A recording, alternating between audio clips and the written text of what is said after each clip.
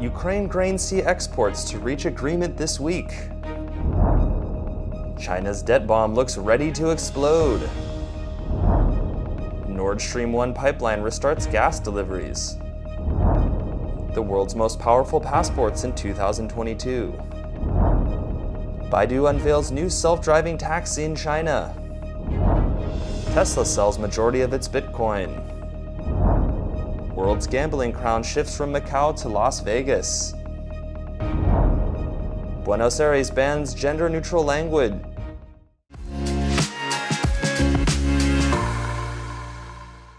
Hello, I'm Johnny. Thank you for joining us on Funday News. It's Friday, July 22nd, and here are your top stories.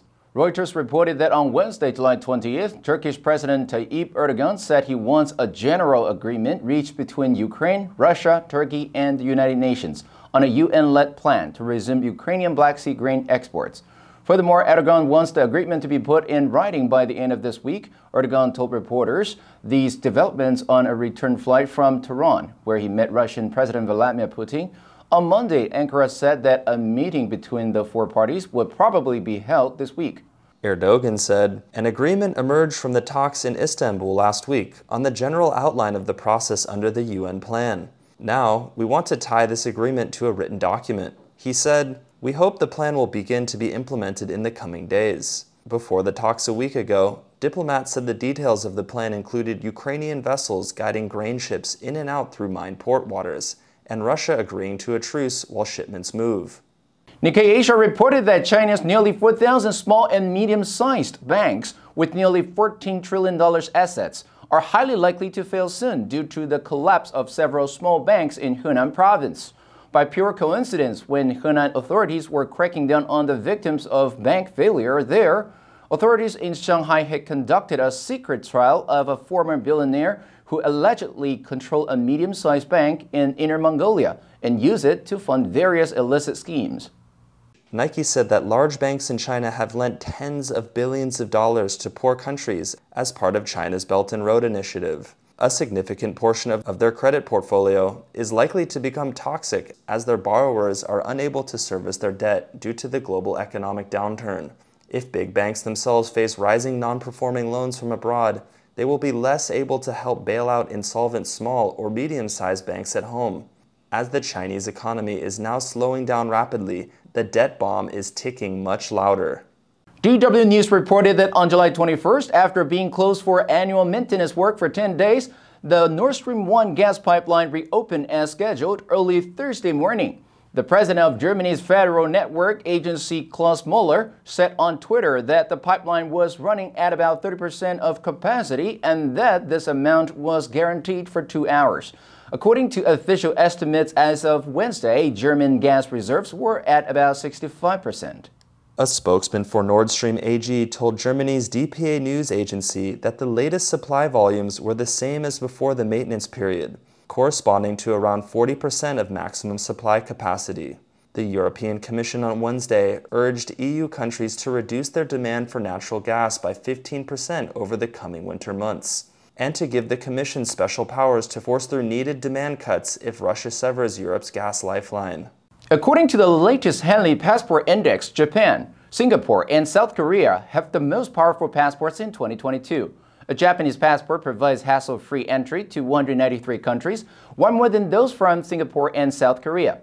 Taiwan travel documents are ranked 34th, with holders having visa-free access to 145 countries. The figure is far ahead of China, which was ranked 69th with access to 80 countries.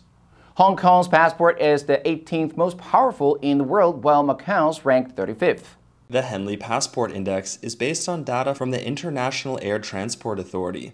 The index includes 199 different passports and 227 different travel destinations. Bloomberg said, as recently as 2017, Asian countries barely featured among the world's 10 most accepted passports. However, Europe's domination has gradually eased, and Germany now trails South Korea. The UK is sixth with access to 187 countries, while the US is seventh with a score of 186.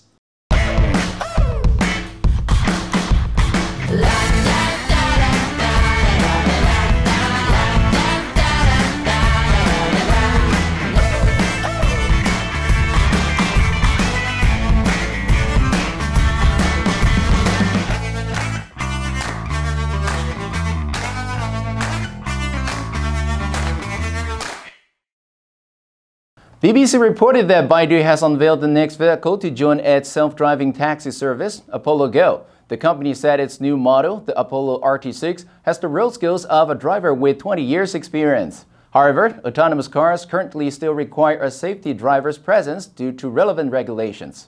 Despite this, Baidu says that one day the RT6 detachable steering wheel could be replaced by extra seats, vending machines, desks, or gaming consoles. Each Apollo RT6 would cost 250,000 yuan, significantly less than previous models. BBC reported that Baidu wants the RT6 to join its existing fleet in the second half of 2023 for a small-scale trial. Baidu plans to have 100,000 of them on the road at some point in the future. Baidu says its robo-taxis, running on a trial basis in 10 cities in China, including Shenzhen, Shanghai, and Beijing, have given more than 1 million rides since its service launched in 2020. Other companies in the robo-taxi space in China include AutoX, backed by Alibaba, and Pony AI, which was founded by former Google and Baidu engineers and currently backed by Toyota. In a shareholder letter on Wednesday, July 20th, Tesla said, as of the end of Q2, we have converted approximately 75% of our Bitcoin purchases into fiat currency. Conversions in Q2 added $936 million of cash to our balance sheet.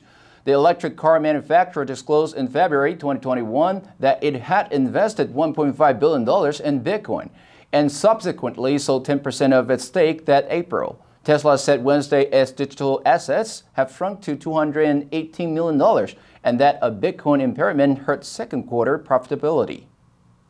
Bloomberg reported that Tesla chief executive officer Elon Musk said on its earnings conference call that the company sold its Bitcoin to maximize its cash position. The head of research at crypto fund manager Valkyrie Investments, Josh Olszewicz, said rough estimates would place Tesla's Bitcoin sales at around the $30,000 price level. $218 million in digital assets remain on Tesla's balance sheet. The media reported that the price of Bitcoin has retreated from a record high of almost 69,000 to $22,928. Bloomberg reported that in 2019, gambling revenue in Macau was six times that of Las Vegas. This year, the Nevada gaming hub has edged ahead of its Asian rival as the Chinese controlled territory grapples with the effects of Beijing's zero COVID policy. While Macau's latest outbreak is easing, with just 10 cases reported on July 19th, compared with 146 cases at the peak, the neighboring mainland city of Zhuhai is seeing a flare up. Gambling industry observers expect the virus rules to loosen after China's Party Congress later this year. Bloomberg said months zero COVID policies have caused Macau's six licensed casino operators to rack up an estimated combined loss of $478 million during the second quarter. Moody's Investor Service predicts a full recovery may not come until 2024 for Macau's mass market gaming, which has become the key contributor to casino operators' profit. This has become the case because Macau's once dominant VIP gambling has declined after China's crackdown on capital outflows and money laundering last year. The New York Times reported that the city government in Buenos Aires, Argentina, last month banned teachers from using any gender neutral words during class and in communications with parents. The city's education minister said such language violated the rules of Spanish and stymied students' reading comprehension. Argentina's top education official criticized the rule, and at least five organizations have filed lawsuits seeking to overturn it. The media said gender neutral language is being increasingly introduced across Latin America by supporters who say it helps create a more inclusive society. For instance, instead of amigos, the Spanish word for friends, some Spanish speakers use amigues, and some signs that would say bienvenidos or welcome now say bienvenitas. But to some Spanish speakers, including many academics and politicians, the changes degrade a language spoken by half a billion people around the world.